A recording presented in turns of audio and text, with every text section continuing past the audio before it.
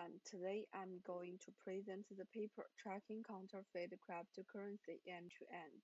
My name is Bingyu Gao, a student at Beijing University of Posts and Telecommunications. Since the first Bitcoin block was mined in 2009, cryptocurrencies have seen significant growth. At the end of 2020, the total market capitalization of cryptocurrency is over 970 billion. Cryptocurrencies have attracted extensive attention from attackers and fraudsters. According to PeckShield, the cryptocurrency experienced 471 major security incidents in 2020, with a total loss of nearly 5.5 billion. Our work researched an understudied attack counterfeit cryptocurrency. Counterfeit cryptocurrency is an imitation of cryptocurrency, which is produced without the legal sanction of the government and with quite low cost. Fraudsters strive to imitate the official currency so as to deceive its recipients. One can create a token smart contract with just a few lines of code. Now there are over 330,000 tokens on Ethereum. For example, if we search Huobi tokens on Etherscan, a popular that released by Huobi Exchange, there are over 400 tokens with identical name, which is confusing for novices. The most reliable way to identify the authenticity, authenticity of a token is by its smart contract address. Our study aimed to investigate the overall ecosystem of counterfeit cryptocurrency from their creation, transaction, and circulation to the scams related to them and their advertising channels. To this end, our study is driving by the following three research questions. Are counterfeit cryptocurrencies prevalent in the ecosystem? What are the fraudulent behaviors related to counterfeit cryptocurrencies? What are the advertisement channels of crypto counterfeit cryptocurrencies? To reach our goals, we synch synchronized all the blocks until March 18, 2020. It contains over 9.6 million blocks with over 200 ERC20 tokens in total, and we select top 100 tokens based on market capitalization from Etherscan as a target cryptocurrency. To To collect counterfeit cryptocurrencies, we identify all the possible candidates by keyword matching. We define two types of target counterfeit cryptocurrency. The first has an identical identifier to an imitated official cryptocurrencies, but is released by different creators. The other type is adopts scoring techniques, it involves the combination of a recognizable token name with other characters or keywords. The work, word cloud on the right shows that the most cryptocurrencies have the identical or similar name with the official tokens. After collect all the possible token candidates by keyword matching, we make three rules to remove false positives the first rule is remove migrated tokens. Since developers can't update smart contract uh, on the Ethereum, they often update their tokens by migrating it to another address, like HDJ had migrated to another address before. The second rule is removing official tokens created by trustworthy creators. We found that before a creator uh, we found that before a token is re released formally, creators often release test tokens to check whether they will perform as expected. The second rule is removing the third rule is removing the official tokens that have similar names with our target tokens. Since the symbol name is really short, some official tokens will have the same or similar symbols, such as HEDJ and HDJ. At last we collect 2,117 counterfeit tokens targeting 94 of the 100 popular tokens. There are over 56,000 transactions related to counterfeit tokens involved over uh, 50,000 addresses. The top three popular crypto counterfeit tokens is the HT, USDT, and BNB, and all of them are on the top five popular to official tokens. So we can know that scammers tend to create counterfeit tokens of popular tokens. The first counterfeit token was created at uh, the February 12th on 2017, and uh, since then, counterfeit tokens have become increasingly prevalent, especially after July 29. We also found that due to the low cost of creating tokens on Ethereum, the malicious creators tend to counterfeit more than one type of official token. Among 1,200 creators of over 2,000 counterfeit tokens, almost 30% of creators have released more than one counterfeit token, and 103 counterfeit creators counterfeit multiple currencies. As shown in the figure on the left, the bigger the size of the orange and the green nodes, the more counterfeit tokens the created. Then we analyze the co-occurrence of the identical token created across different types of counterfeit tokens. As shown in the figure on the left, on the right, there are 71 official tokens have counterfeit tokens whose creators have generated other kinds of counterfeit tokens. The size of the cycle represents the number of creators counterfeited both of the corresponding tokens. We can know counterfeit BNB and HT share 13 identical creators in total, which is the most. We found that most counterfeit tokens have limited transactions and holders. Over 500 counterfeit tokens have never been transferred, and over half of the tokens have, have no more than two holders. On the one hand, some counterfeit tokens may be used by fraudsters for testing or field in a scam. On the other hand, fraudsters tend to update other counterfeit tokens after a period to prevent victims from reporting or causing suspension from regulators. For holders of counterfeit cryptocurrencies, most of the holders are novices with few experiences in nearly 30,000 unique holders, almost 50% of holders have fewer than five transactions, and nearly 95% of holders have a balance under 0.2 ETH. We then explore the scams related to counterfeit tokens by searching existing scam reports and Googling counterfeit token address to find clues. At last, we found two types of scams, airdrop scam and arbitrage scam. An airdrop scam is Uh, uh, an airdrop scam is the distribution of cryptocurrency token, usually for free, to numerous new user wallet addresses. It is primarily implemented as a way of gaining attention and follows follows.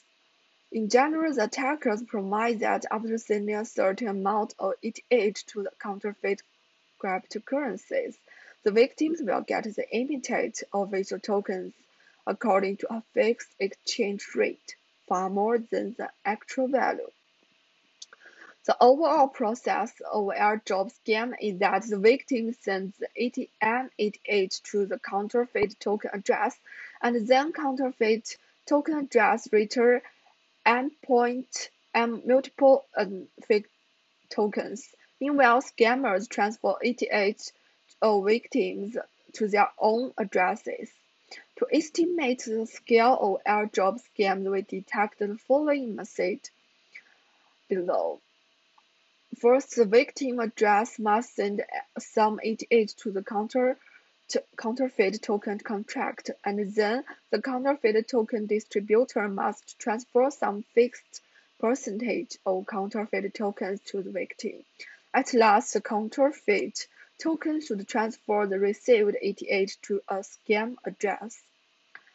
As a result, we found that 87 counterfeit tokens targeting 44 target official tokens have shown that the behavior of the airdrop scheme over 2,000 victims are involved and the attackers have received more than 900 ETH in total. As shown in the table, counterfeit QKC scammed over 180 ETH, which is the most. The other scam is arbitrage scam. Arbitrage is an investment method that capitalizes an imbalance in prices between markets uh, like that buy at a low price and sell at a slightly higher price. Now attackers take advantage of arbitrage and combine it with counterfeit tokens to carry out well-designed scams. Arbitrage scams usually trick users to send ETH to their scam address. After that, they may return counterfeit uh, counterfeit tokens or return official tokens at first to attract victims to send more ETH. Even if victims find that they are deceived, there are still three types of secondary scam. For the first type, the scammer is pretending to be the wallet to be the wallet customer service telling victims that they need to send ETH to roll back the age they have sent. For the second type, the scammer is pretending to be the official token customer service, telling victims that they need to send more ETH to get ETH pay payback. For the third type, the scammer is pretending to be the wallet customer service. It requires the victim to provide its private key for help. Arbitrage scam is more complicated than airdrop scheme and to find its scale will first regard every transfer to the counterfeit token as a as a candidate transfer from the scammer to the victim, and we further identify the corresponding ETH transaction of the potential victims. The ETH transfer transaction should be the most recent one just before the counterfeit token transfer. The target of the arbitrage is more concentrated than airdrop scheme and it causes more severe financial loss too. We, we identify 1,800 scam addresses targeting 10 official tokens to accept ETH. Over 5,000 victims are involved and it caused uh, 73,088 financial loss. The most popular target of arbitrage scam is HT, which causes financial loss of over 60,088, accounts for 83% of arbitrage scams volume. We believe that there are two reasons for this. On the one hand, HT has large market capitalization, rank 4 on uh, the Ethereum at that time. On the other hand, the famous crypto exchange Huobi helps increase its popularity. Besides, we observe that over 29% of victims have deceived more than once. Note that the real proportion can be higher, as the attacker sometimes asks victims to transfer ETH to another address that we can't track. Fraudsters of arbitrage are foxier than airdrop scam, 46 uh, percentage of victims have received official tokens from the scam address. Then 81% of them send ETH to the scam address for the second time. This result suggests that sending official tokens to the victims can greatly increase the probability for victims to send ETH to the scam address again. When sending ETH for the second time, over 90% of victims sent more ETH compared to the amount they sent at the first. We summarize all the overall impact of the scam, including the involved address, the financial loss, and number of victims. From 2,000 counterfeit tokens, we found two type counter two type of scams in total. 3,000 related scam addresses and found over 700 victims, with uh, an over financial loss of 74,088. To explore how these counterfeit tokens are utilized to trick users, we feed 2,000 counterfeit tokens addresses and their corresponding scam addresses to Google and collect all the related information. At last, we collect, collected 924 pieces of advertising information from 103 advertising platforms. To advertise their scammed fraudsters usually imitate official information, provide detailed tutorial to trick users. For example, Telegram are famous for its anonymity are popular among fraudsters. Here we take Huobi token arbitrage scheme as an example. First, arbitrage, the arbitrage group always pretends to be an official group. Its name is usually like Huobi official arbitrage tutorial group, and it uses Huobi official icon, and its pinned message is usually to publish the fraudulent arbitrage tutorial. The tutorial uh, explain the, the detail, the workflow of the arbitrage and the popularity of arbitrage. And every Telegram group has a fake uh, official customer service and lead the victim to the secondary scheme. And for the scam Telegram groups were identified. Every group has thousands of members, but most of them are robots. The robots in the group fallacy the conversation, making victims mistakenly believe that the arbitrage is real and profitable. We can know that in counterfeit cryptocurrency ecosystem, various social engineering techniques have been adopted to trick users. Our work reveals that counterfeit tokens are prevalent in the cryptocurrency ecosystem, thereby motivating the need for more efforts to identify and prevent cryptocurrency abuse. We characterize two kinds of scams related to counterfeit tokens and design methods to identify airdrop scams and arbitrage scams.